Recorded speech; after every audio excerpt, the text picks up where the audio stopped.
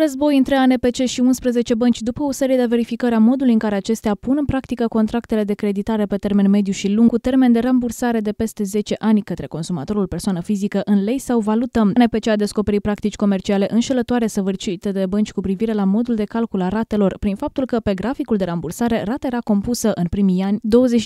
din soldul principal de rambursat și 75% dobândă. Prin această modalitate de calcul, consumatorii plăteau de fapt preponderent dobândă. Pentru a putea restabili echilibrul contractual pe lângă sancțiunea contravențională, respectiv 11 amenzi în valoare de 550.000 de lei, comisarii ANPC au propus măsura de emitere a unor noi grafice de rambursare, atât pentru creditele aflate în curs, cât și pentru cele viitoare, de principalul credit datorat să fie achitat de către consumatori în rate egale pe întreaga perioadă de creditare, în raport cu robânda aferentă creditului. Băncile vor contesta decizia ANPC și au anunțat că decizia le produce un deficit grav de imagine.